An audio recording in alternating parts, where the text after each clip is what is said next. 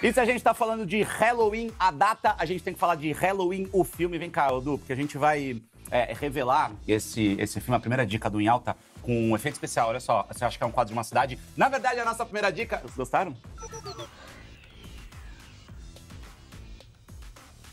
Ficou legal, né? Não teve palmas, eu fiquei, eu fiquei meio assim. Enfim, esse daqui é o filme original de 1978, do tal do Michael Myers, que é o personagem principal, né?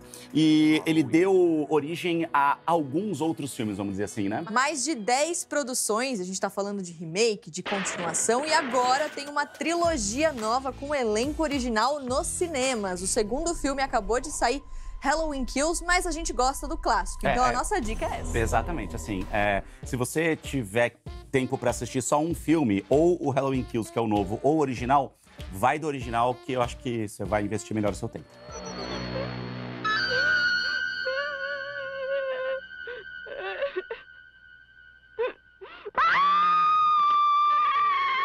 Bom, mas vamos explicar a história de Halloween. A história é a seguinte: logo no começo do filme acontece um assassinato numa nada. cidade pequena Do nada, dos Estados sim. Unidos. Um menininho de 6, 7 anos, assim, ele simplesmente vai lá e mata a irmã mais velha dele.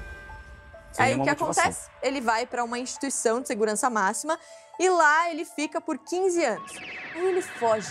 E o médico dele, que conhece um pouquinho a cabeça dele, fica super preocupado, vai atrás dele, ele foi para a cidade dele antiga e aí ele continua essa sequência de horrores. E esse é o tal do Michael Myers, que é um personagem muito famoso para quem gosta de Halloween. É esse aqui, ó. Esse é esse cara cara, aqui. aqui que tem essa máscara diferentona tal, de um filme que teve um orçamento de 300 mil dólares e faturou quanto? Milhões de dólares, 70 milhões de É, dólares. foi um investimento mais ou menos, então, né?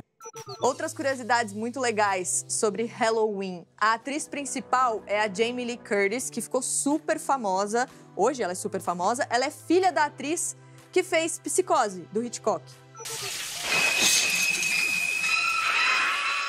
Outra curiosidade é em relação à máscara do Michael Myers, que você olha ali e pensa assim.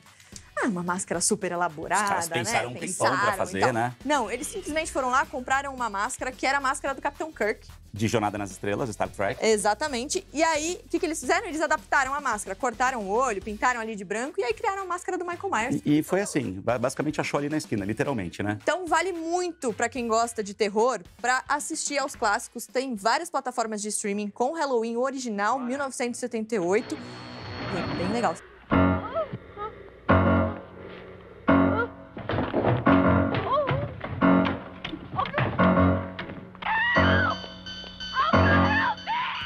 Inclusive tem um vídeo do TikTok, né? Tem. Sobre o Michael Myers. Exato, tem uma menininha do- dos Estados Unidos que fez quatro anos e na festa de aniversário ela pediu que qualquer criança pediria pra ver o Michael Myers. Claro, ela queria o. Michael Myers na festa dela. Traga um serial killer pra minha festa. Exato. É, Qualquer criança pediria isso, Super, né? olha o vídeo. É isso.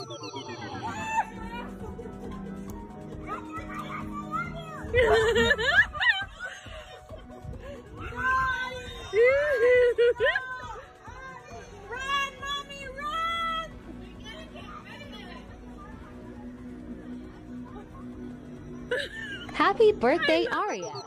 Eu amo que ela vira e fala assim: Michael Myers, eu te amo. Tipo, o cara é só o assassino da franquia. Não, e ele chega com a máscara, mas beleza. tá É, é isso, é assim que funciona. E sabe como é que a gente descobriu todas essas dicas? Parece que a gente sabe tudo, né? É, não, assim, somos PHD, né? Fizemos ali uma pós-graduação em Halloween. Eh, Tudo bem? Deixa eu colocar pra cá o quadro, que a Mari vai estar destruindo o cenário, gente. A gente descobriu muitas dessas curiosidades numa outra dica aqui do Em Alta, já uma série que chama Filmes que Marcam Época e tem um episódio explicando todas essas histórias de Halloween. É super divertido, vale a pena também. Sobre vários outros filmes também, né? Sim, tem sobre De Volta pro Futuro, sobre Esqueceram de Mim, tá? Colocou legal. 13. Colocou legal o quadro ali, viu? Ah, Ficou bem tá, retinho. Ajuda aí, mano, por favor. This is the film industry. It's magic. If you don't like it, off home now.